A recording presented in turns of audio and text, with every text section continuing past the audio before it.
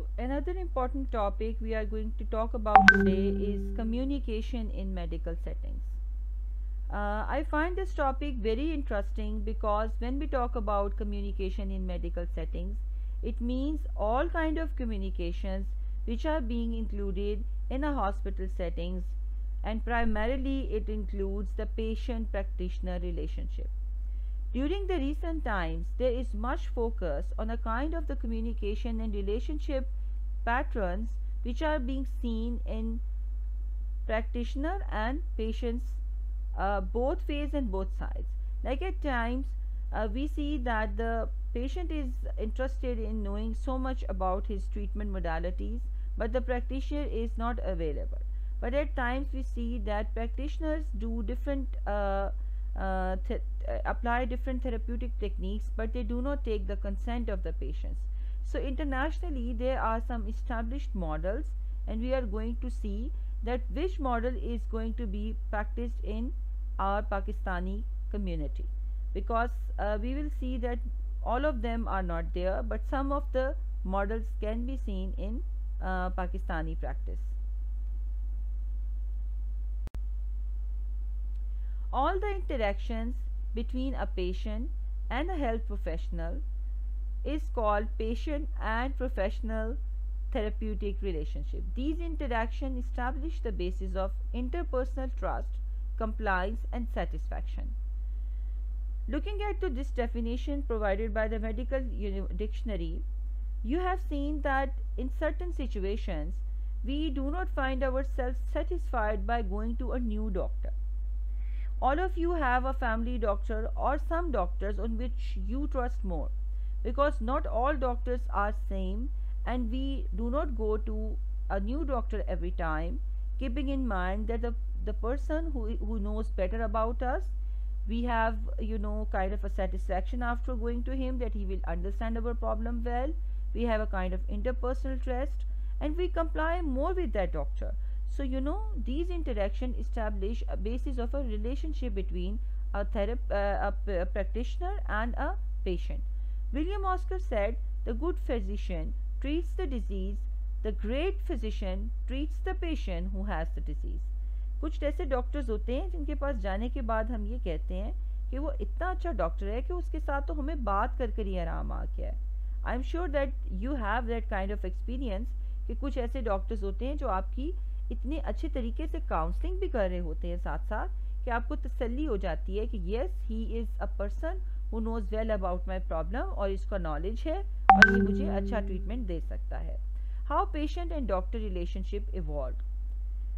basically in the early 90s, there was a talk begin that there is a kind of relationship between a patient and doctor. Before that, there was no such concept that this could be seen in terms of a relationship. Parsons was the earliest sociologist to examine the doctor-patient relationship. उसने ये regard किया था कि illness जो है it's a form of a social deviance and it impairs normal road performance and it affects smooth functioning of an individual from the society. In the middle of the century, when science and technology emerged, the interpersonal aspects of healthcare were overshadowed. There is now a renewed interest in medicine as a social process. और मैं आपसे ये कहूँगी कि medicine को एक social process के तौर पर हम कैसे देखते हैं this sense even we all of us are not doctors but आधी से ज़्यादा मेडिसिन हमें खुद ही घर में ही हमें पता होती हैं कि किस ट्रीटमेंट के लिए हमने कौन सी देनी है और हम वो उसे बहुत आराम से लोगों को दे भी देते हैं स्टमिक का प्रॉब्लम है तो we can use this medicine if you have headache you can take Panadol और Disprin so things like that so a doctor can do as much harm to a patient with the slip of a word as with the slip of a knife at times अगर वो medicine आप जो, सबसे पहले तो मैं personal self medication की बात करूँगी। अगर आप किसी को ऐसी मेडिकेशन दे देते हैं, जो कि करेक्ट नहीं है तो वो उसके लिए बहुत ज़्यादा हार्मफुल साबित हो सकती है। Similarly, if a doctor is not vigilant enough and he, for instance, a person, an elderly person came to a neurologist with the symptoms of Parkinson और उसके मेमोरी इश्यूज़ हैं और उसको मसल की एजिटेशन है और उसके अंदर थोड़े से कन्फ्यूजन्स और एंगर्स हैं और वो उसको पार्किंसन के लिए सिनामेट की मेडिसिन स्टार्ट करवा देता है और वो ये नहीं देखता कि उस पेशेंट की हिस्ट्री क्या है, उसकी और अदर प्रॉब्लम्स और सिम्टम्स क्या हैं, उसकी फैमिली उसके बारे में कोई सिम्टम्स तो नहीं रिपोर्ट कर रही है, उसकी पास हिस्ट्री नहीं देखता और उसको मेडिसिन दे देता है और उसे बाद में after the treatment of one year ये पता चलता है कि इस पेशेंट को तो एक बाइपोलर डिसऑर्डर की हिस्ट्री थी और सेनामेट के साथ बाइपोलर डिसऑर्डर देने का मतलब ये है कि you are giving an irreplaceable harm to a patient right क्योंकि उसका कोई रिटर्न नहीं है। उसको हम दोबारा से उसके उन पाथवेज को ठीक नहीं कर सकते। सो यू नो इस तरह का हार्म जो कि एक रॉन्ग मेडिसिन के देने से हो सकता है। फॉर इंस्टेंस अगर किसी को पेंसिलिन की एलर्जी है और आपने उसको वो मेडिसिन दे दी जिसमें पेंसिलिन है सच एज ऑगमेंटम तो उसको उसके बहुत बुरे साइड इफ़ेक्ट्स हो सकते हैं। सो डॉक्टर का जो नॉलेज है it's very very important and it's not you know limited in to a term of a five minute stock by paying five thousand और three thousand to a doctor and just getting a slip जो कि उसने उस disorder के लिए हर एक को एक जैसी दे देनी है it's not like that you have to see the patients other detail the patient's age, his background, his affordability at times maybe, and to see that whether the patient's overall health is able to bear that medicine or not. Right? So, it is the ability to gather information in order to facilitate accurate diagnosis, counsel appropriately, give the therapeutic instructions, and establish a caring relationship with patients. But unfortunately what we have seen that there are very few good doctors who actually understand the psychology of doctor patient relationship and they give medicines to a doctor uh, to a patient after taking the complete information now what are the main components of doctor patient relationship? This is very interesting to see that there are two uh, main dimensions. The one is called instrumental and the other one is called expressive. Instrumental is the competence of a doctor in performing the technical aspects of care such as performing diagnostic tests, physical examinations and prescribing treatment So this is a, this is something which is part of his altogether knowledge and he, he should be he should be instrumental in delivering that कि उसको diagnosis करना आता हो उसको physically examine करना आता हो patient को और उसको ट्रीटमेंट प्रिस्क्राइब करना आता हो Now looking at to the other thing that is expressive component. The expressive com component reflects the art of medicine including the effective portion of interaction such as warmth and empathy And how the doctor approaches the patient अब आप सब इस बात से agree करेंगे जो भी सुन रहे हैं कि whenever we see that they are one famous doctor who is being you know given so much respect by the clients or by the, the the patients और हम उसको ऑब्ज़र्व करते हैं तो हम कहते हैं कि इसकी इंस्ट्रूमेंटल इसकी इंस्ट्रूमेंटल स्किल्स तो बहुत अच्छी हैं लेकिन वो इतना एक्सप्रेसिव है, उसका एक्सप्रेसिव कंपोनेंट इतना अच्छा है कि वो पेशेंट्स को बहुत ज़्यादा एम्पथी के साथ सुनता है, उनकी पेन को फील करता है और उसके बाद उनको वो बताता है कि आपको ये प्रॉब्लम है और आपको हमें ऐसे ट्रीट करना होगा। जबकि कुछ इतने इंस्ट्रूमेंटल डॉक्टर होते हैं जो बिल्कुल आपको एक लफ्ज़ भी हमदर्दी का नहीं कहते, वो जस्ट बहुत बड़े बड़े ऐसे डॉक्टर्स हैं and of course we don't name them जो सिंपल आपको लिख देते हैं कि बस ये ये ये ये दवाइयाँ डालें और दो हफ़्ते के बाद आएँ। तो होता क्या है? वो भी हम आगे बात करेंगे कि there is basically no affiliation with a doctor to a patient और उसकी कंप्लाइंस भी वैसी नहीं होती, उसके रिजल्ट्स भी वैसे नहीं होते, क्योंकि जब तक हम बिलीव नहीं कर रहे होते किसी चीज़ के ऊपर, उसके रिजल्ट्स भी नहीं हमें मिलते। फॉर इंस्टेंस हम अगर बात करते हैं अपने बिलीव की कि हमने कोई चीज़ देखी नहीं है, लेकिन हम उसमें बिलीव कर रहे हैं, जैसे फॉर इंस्टेंस अल्लाह सुबहाना वाली तो हमारा फर्म बिलीव है that yes he is there इसी तरह अगर डॉक्टर बहुत अच्छा है, बहुत एम्पथेटिक है is extending care and support to you तो आप उसके कहने पर इतना बिलीफ रखेंगे कि अगर आपको इंस्टेंटली उस मेडिसिन से कोई आराम नहीं भी आ रहा तो आप ये सोचेंगे कि इस डॉक्टर की बड़ी अच्छी प्रिस्क्रिप्शन होगी, इसने बहुत मुझे थरली एग्जामिन किया है, मुझे थरली ब्रीफ किया है तो I should give a try and after taking some time आपको खुद ब खुद महसूस होता है कि वो मेडिसिन आपको ज़्यादा अच्छा इफ़ेक्ट करी है और उसकी रीज़न कोई जादू नहीं है। उसकी रीज़न ये है that you are better complying with that medication right so हमारी ये जो इलनेस परसेप्शन की थेरी है that goes very well with these के हमारे, हमें ट्रीटमेंट मिल कैसा रहा है, वो भी हमारी इलनेस परसेप्शन को बहुत ज़्यादा जो है वो इफ़ेक्ट करता है। Now looking at the importance of patient-practitioner relationship, some essential features are important for maintaining a healthy uh, doctor and patient relationship. First one is good communication skills.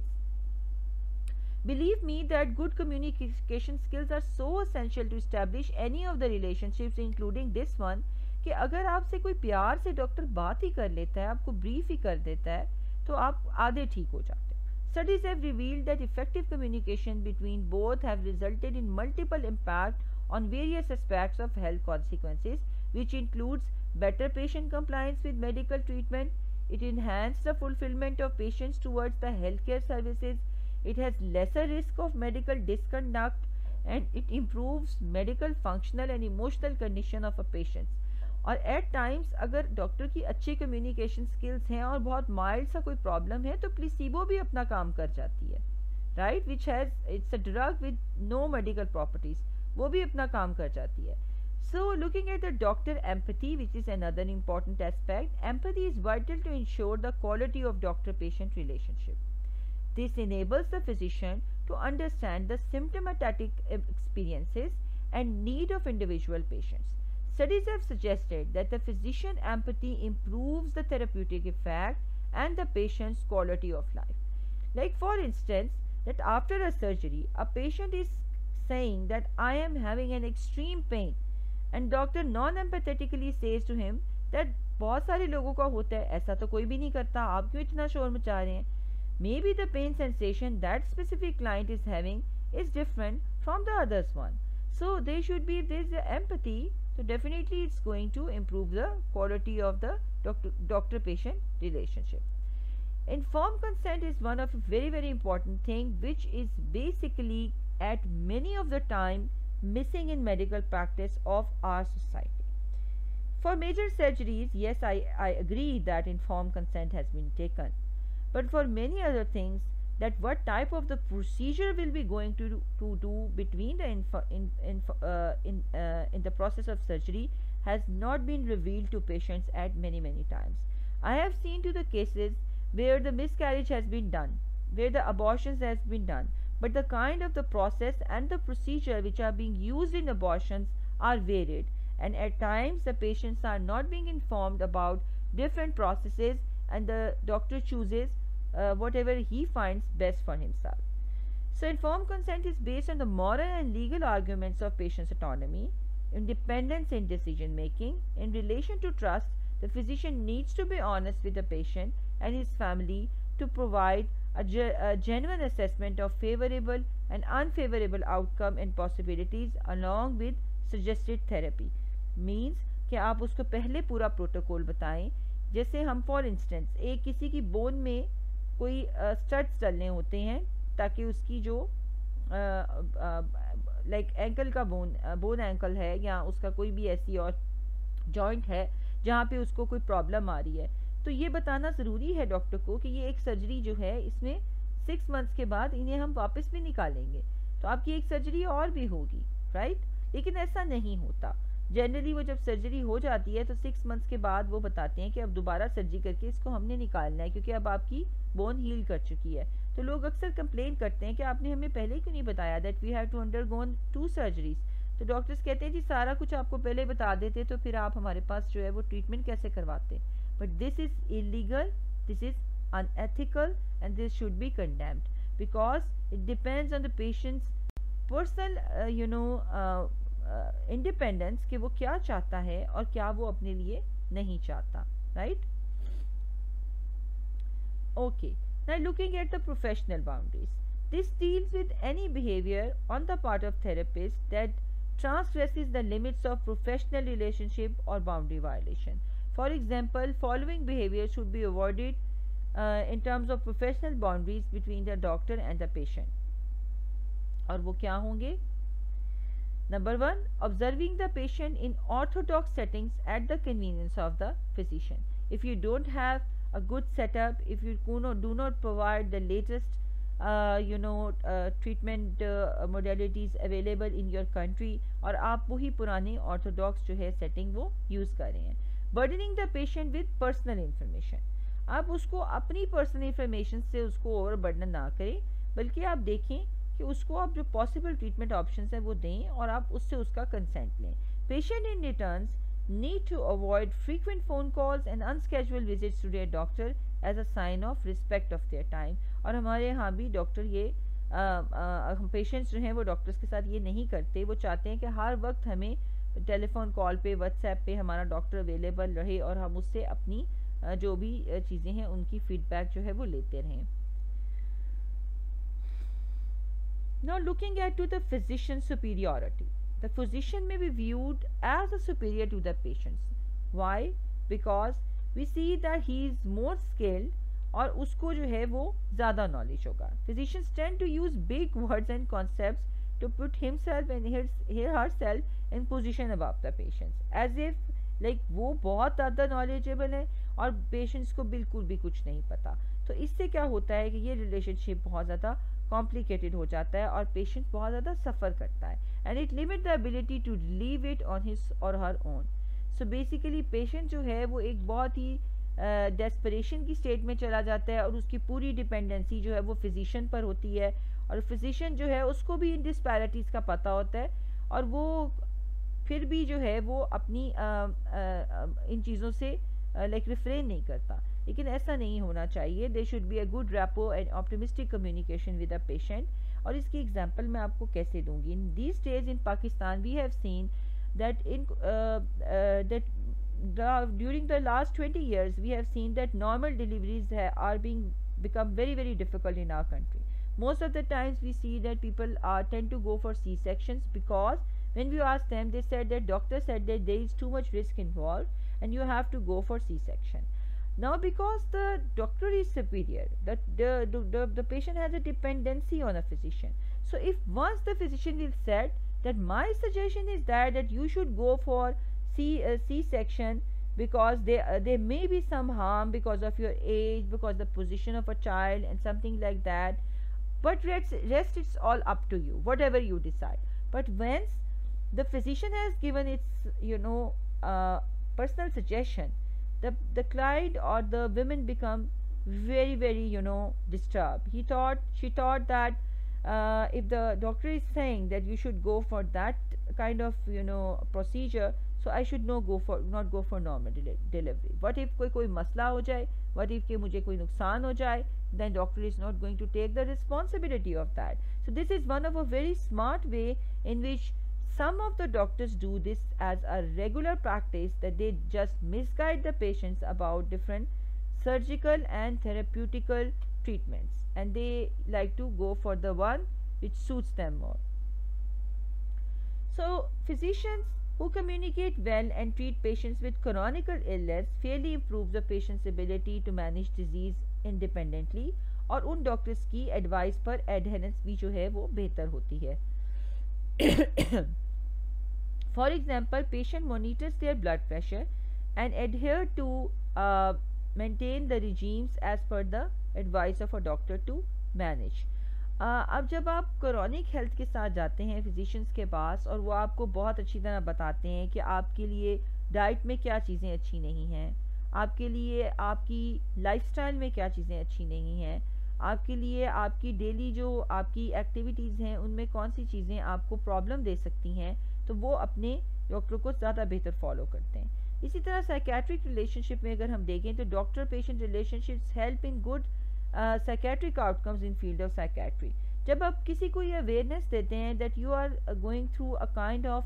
psychological problems और हम उसके लिए आपको treat करें तो बेहतर repo establish होती है। उन मेंटल सिम्टम्स को अगर आप किसी को एक्सप्लेन करते हैं जैसे फॉर इंस्टेंस मैंने जैसे पहले पार्किंसन की बात की, अगर एक पार्किंसन के पेशेंट को ये बता दिया जाए that you are going through a disease जिसमें आपको बार बार मेमोरी का लॉस होगा और आप चीज़ों को भूल जाएँगे तो आप अपनी यादाश्त को अच्छा रखने के लिए इन टेक्निक्स को यूज़ करें। तो उसका जो कन्फ्यूज़न है, वो कम हो जाएगा एज़ कंपेयर टू कि उसे अपनी डिज़ीज़ के बारे में पता ही ना हो। इसी तरह सेक्रेटरी में भी लोगों को ये बताना पड़ता है that you are having an O C P D personality so you have to look for yourself क्योंकि समटाइम्स वो रिपीटेटिव थाट्स जो आपको आ रही हैं, वो जेनवन नहीं है, वो आपकी पर्सनैलिटी प्रॉब्लम का एक हिस्सा है। Studies have revealed that the symptoms in H I V patients are treated by retaining patients hope and giving adequate data regarding the disease in treatment और एच सी वी में भी और H I we में भी बहुत बहुत important है कि उनको जो है वो प्रॉपर काउंसिल किया जाए और प्रॉपर उनको गाइडेंस दी जाए। Now looking at Uh, uh, the models which are being used in uh, patient practitioner relationship. The Hollander model the Sazaz Hollander model has basically uh, being described in three different ways. The first one is active passive model the second one is guidance cooperation model and the third one is mutual participation model. So the first model which was given by Hollander was active passivity model and it is not the best model for chronic and acute pain is basically जैसे आपको नाम से पता चल रहा है कि activity passivity तो क्या होगा? Is the opinion of some people that the differential in power between patient and doctor is necessity to the study course of medical care the patient seek information and technical assistance and the doctor formulates decision when the patient which the patient has to be accepted like doctor का role यहाँ बहुत active है patient का role यहाँ बहुत passive है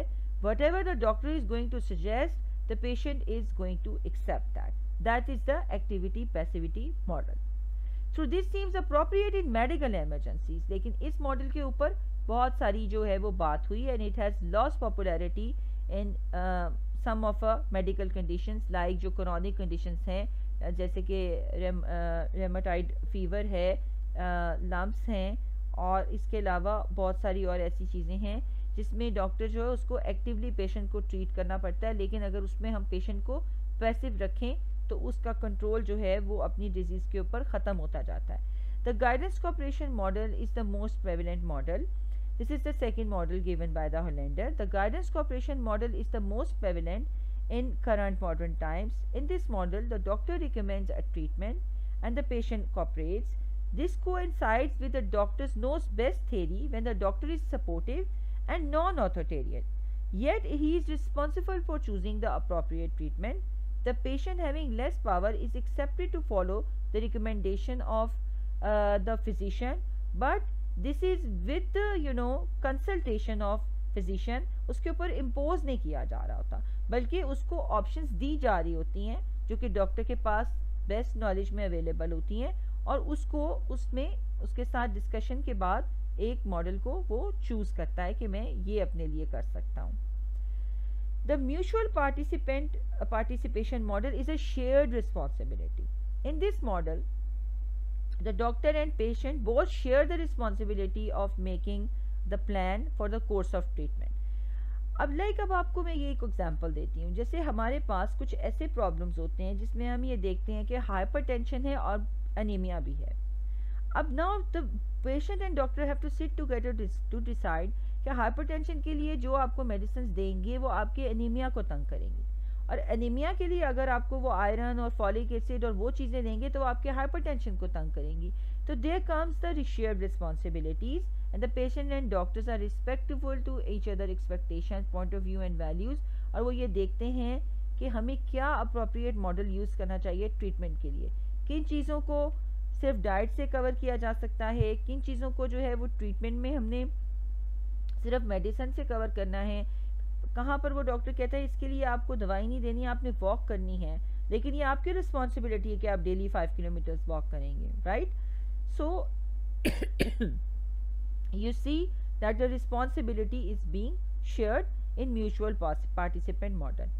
now looking at the informative and consumer model उसमें physician act as a profession technical expert by defining appropriate functions and information about possible treatments और पेशेंट जो है, वो इंचार्ज होता है डिसीज़न का for making his own medical condition by his own decision this kind of model is justified as a patient centred medical location अब ये कहाँ यूज़ हो सकता है? एस्थेटिक लेजर्स में हम बात करते हैं हम जो है वो फेशियल जो डिफरेंट हमारे, आप देखें आजकल ट्रीटमेंट्स आ गए हैं, जिसमें आप अपनी सर्जरीज के थ्रू अपनी नोज़ की शेप चेंज कर सकते हैं लिप्स की चेंज कर सकते हैं फिलर्स है बूटॉक्स है, इन सब चीज़ों में पेशेंट्स जो है वो अपनी मर्ज़ी से चूज़ करता है कि उसको क्या चीज़ करवानी है, कितनी करवानी है और कैसे करवानी है right so these are the things so how to improve doctors and patient medical communication इसके कुछ टिप्स हैं be patient be respectful be involve doctor has to have offer empathy validate the patient's feeling negotiation cultivate confidence take time to prepare put it in writing that whatever has been decided and put technology to work so these are the things जो कि एक doctor के part पे बहुत ज़्यादा ज़रूरी हैं। और uh, अगर हम इसकी uh, इसको हम देखते हैं in terms of complete model तो वी सी कि it's very very important in a medical setting कि आप एक कंप्लीट पैकेज अपने क्लाइंट को दें। आप अंडरस्टैंड करें कि पेशेंट प्रैक्टिशनर रिलेशनशिप क्या होता है उसकी क्या डायमेंशनस होती हैं what are the different kind of the model which are being given by the Hollender और which model is being best use in Pakistani scenario उसमें हम देखते हैं कि पाकिस्तान में mostly doctors are more active and patient is more passive except in few situations जहाँ पर mutual participation हो रही होती है या जहाँ जहाँ पर हम देखते हैं कि पेशेंट इज़ इन चार्ज वो बहुत ज़्यादा ब्यूटिफिकेशन के मेथड्स हो सकते हैं जहाँ पे हम देखते हैं कि पेशेंट इंचार्ज हो सकता है, लेकिन in general medical settings we see that the doctor has more supreme you know authority और उसकी बात जो है वो ज़्यादा uh, हमें लगता है कि इंपॉर्टेंट uh, है and it's more understandable so this is about all about communication in medical settings